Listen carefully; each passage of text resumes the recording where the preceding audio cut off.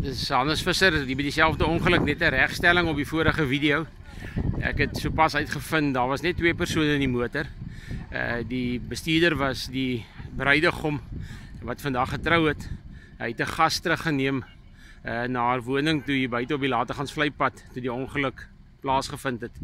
Uh hy het toe iemand geskakel en 'n familielid het toe die bruid wat vandag getroud met hom getroud is saamgebring. Uh, sy is die derde persoon wat die ambulans saam terug is. So daar was net twee mense in die motor gewees, nie drie soos wat die polisie aanvanklik gedink het nie. Uh dit was die bruidegom en 'n gas wat hy gaan aflaai het. Hulle twee is lig beseer en sy vrou het toe op die toneel aangekom en sy is saam met hom met die ambulans uh, hospitaal toe. So twee persone nie ernstig beseer nie.